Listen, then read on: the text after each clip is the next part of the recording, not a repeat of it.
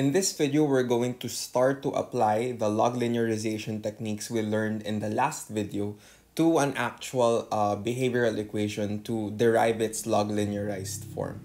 So in this video, we'll deal with the labor supply equation. So we have uh, WT, which is wage, is equal to CT, consumption, minus 1 over LT, or uh, log uh, labor hours.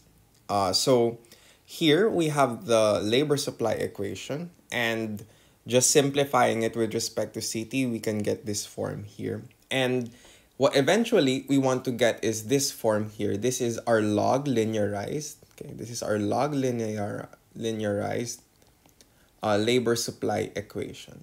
So we want to eventually get to that solution. So we'll apply our log linearization techniques. So first technique to uh, apply is just the basic conclusion. So we apply Okay, so if you remember the rule, um, zt tilde is equal to z bar e zt tilde. So we can apply that to our variables here. So we're going to use this. So starting from this, say this is 1.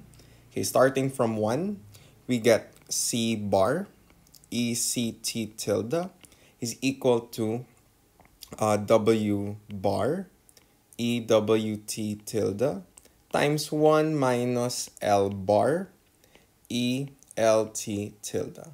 Okay, not so bad.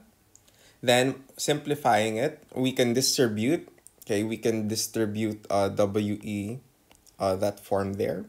So we get C bar ECT tilde is equal to W bar EWT tilde um, minus uh, W bar L bar, E.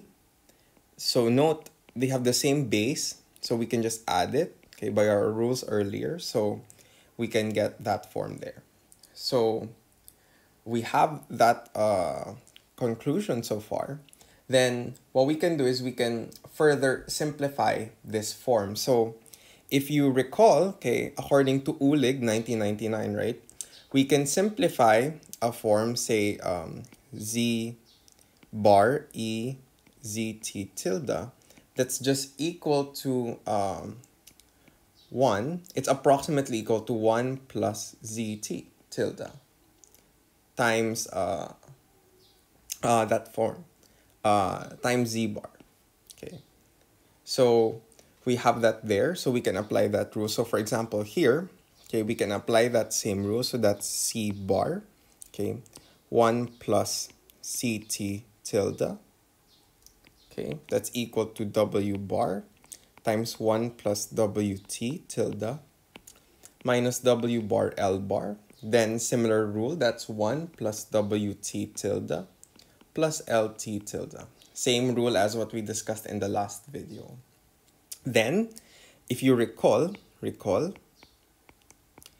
at a stationary state or at the steady state, stationary or steady state, okay, the labor supply equation is essentially, okay, W bar equal to C bar over 1 minus L bar, which is equal to C bar equal to uh, W bar times 1 minus L bar. Okay, so let's bear that in mind. Um, if we just distribute the steady state values, we can get C bar plus C bar CT tilde equal to W bar plus W bar WT tilde minus W bar L bar minus W bar L bar WT tilde minus W bar L bar LT tilde. Okay, now notice this identity here, okay, you can see it spread around, okay, in this equation here. Okay, so Notice this will reduce to, if you simplify it further, this is C bar is equal to W bar minus W bar L bar. So you can see C bar on the left-hand side, that's this one. You can also see a lone W bar here, and you can see a lone minus WL bar there. So all of these uh, from the left-hand side and the right-hand side is equal, so you can opt to cancel them out. And you're going to be left with C bar, CT tilde, is equal to W bar wt tilde minus w bar l bar wt tilde minus w bar l bar lt tilde. Then, all that's left for us to get our log linearized uh, labor supply equation is to rearrange. So, c bar ct tilde. We can rearrange these two here into the form. So notice both of them have w bar and wt tilde. So we can isolate that also w bar. Okay, then wt tilde. Then the first uh, form here, this one, okay, it's uh, apart from w bar and wt has nothing, so that's 1. Minus this also has an l bar, so we get l bar. Okay, minus w bar, l bar, lt tilde.